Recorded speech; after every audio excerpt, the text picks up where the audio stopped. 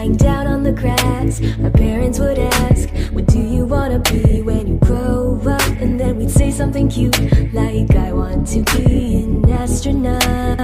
Your time flies and waits for no one. We find ourselves asking, What do I want in life? But there are always things that we love and things that we hate. It's just how